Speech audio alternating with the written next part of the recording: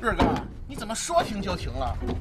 哎，对了，你到底是找我来搬家呢，还是干嘛呢？今天？飞爷，我叫你来是否一起来评测一下华晨汽车金杯小卡 T 三零、T 三二？咱们什么时候开展货车业务了都？现在市面上对货车的需求量是很大的，我们有必要在市场当中来选出一款舒适性也很好、承载能力也不错的很强的一个货车，有针对性的来评测一下。货车作为生产工具，搭乘着经济快速发展的列车，销量逐年稳步增长。传统窄体微卡、环保不达标的黄标车和柴油小货车逐步退出市场，所以空间更大、配置更高、驾乘更舒适、安全性高的高端汽油小卡对于消费者更具吸引力。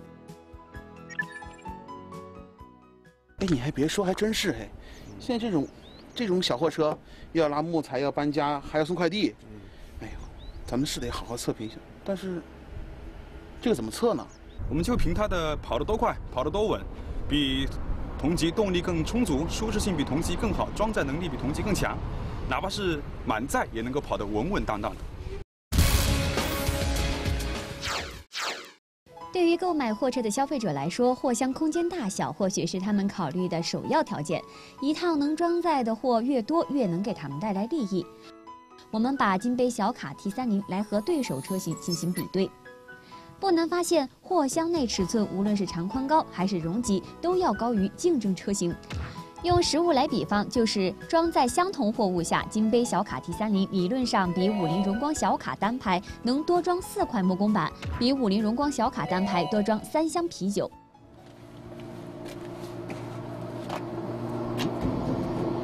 哎，小胖，你有没有发现金杯小卡 T 三零、T 三二，它们全部是采用的独立货箱的设计，而且全系标配的这样的龙门架，知道吗？这样的设计可以最大限度的避免货物对驾驶室的一个挤压，保障货物的安全，也进一步保障车内乘坐人员的安全。现在市面上有一部分的货车，他们是采用的连体的，比如说它的货箱和驾驶室是连在一起的。这样的设计的话，在下坡的时候，如果是货物比较重、大件的货物，就很容易对驾驶室造成挤压，带来安全隐患。哎，你还别说，日哥，我看见这么多货车，我还从来没见注意它什么独立啊、连排啊什么的。哎，以后我要有朋友的话，我一定要告诉他们要买独立的货箱，这样给自己、给他人都多一份安全嘛。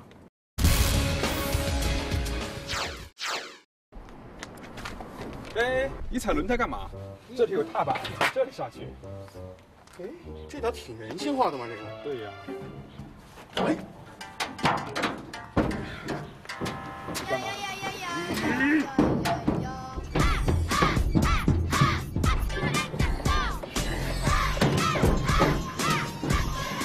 哥，你不说它承载能力强吗？我这样试试，看我这体重，在这上面抖一抖，看看有没有松散。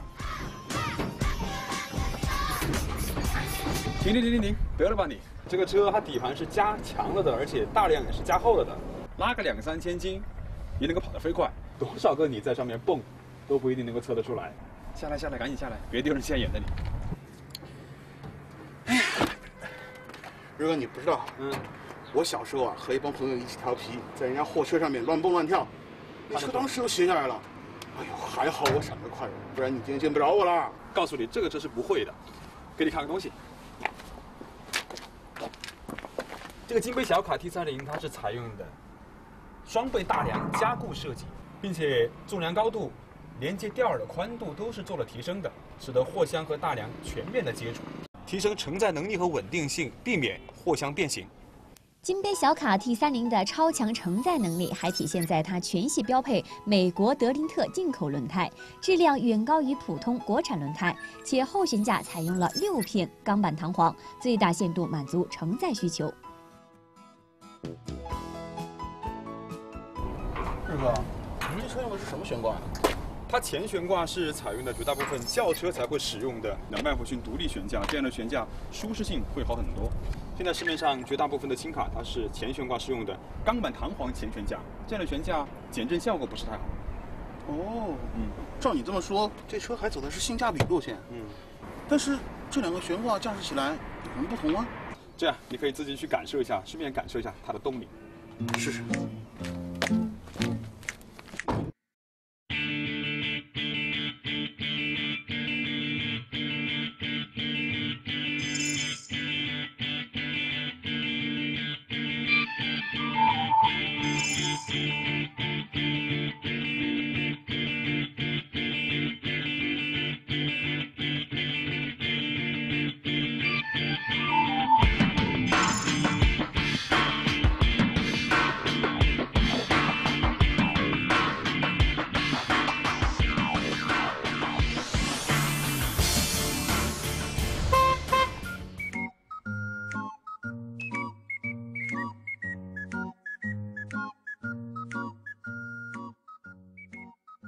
怎么样？实际开过之后感觉怎么样？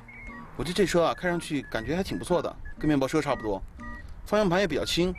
哦，刚才过颠簸路面的时候，我一直以为我脑袋会撞到天花板，不过还好，整个人还没有飞起来的感觉。就是总体的驾驶感受还是挺不错的啊。告诉你，金杯小卡它不仅是使用的轿车的前悬架，呃，EPS 电子转向助力，在转向的时候它更轻松、更安全，而且每一百公里的油耗还可以降低零点三升燃油。呃，常言道嘛，呃，货车无助力，老婆不满意嘛。什么意思啊？你想啊，开车是个费力活儿吧？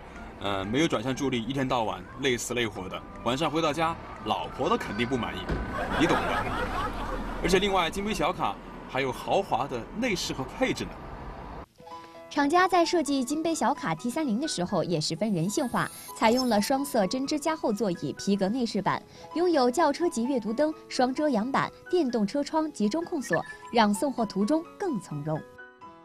今天也试了这么久了，我那个是双排，你这个是单排，不如去我那个车去试一下它的后排空间怎么样？好。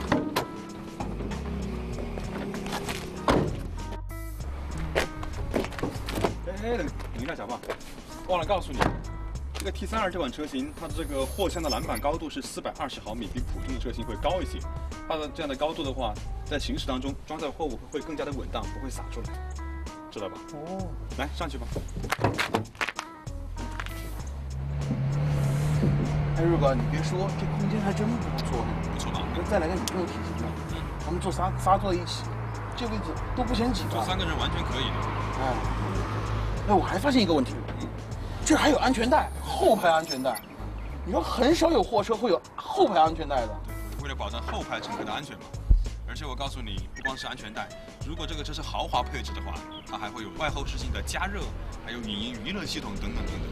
如果买回去的话，突发一想，把它的货箱改成房车也是挺不错的。瑞哥，哎，啊，商量呗，要不我试驾一下这个车，下次吧，今天没时间了，赶紧给人家送回去。要不我开这车把他送回去。我俩换一下。哎，OK，好吧。